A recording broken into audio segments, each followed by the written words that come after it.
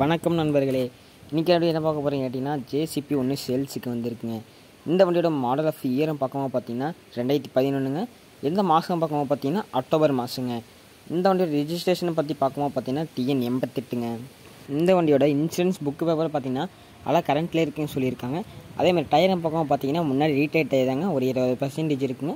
அதேமாதிரி பின்னாடி டயர் பக்கமாக பார்த்தீங்கன்னா ஒரு நாற்பது சதவீதக்கு மேலே இருக்குங்க. அதேமாதிரி இந்த வண்டியில் பார்த்தீங்கன்னா முன்னாடி லோடரோட பக்கெட் பார்த்தீங்கன்னா ஹெவியில் போட்டிருக்காங்க.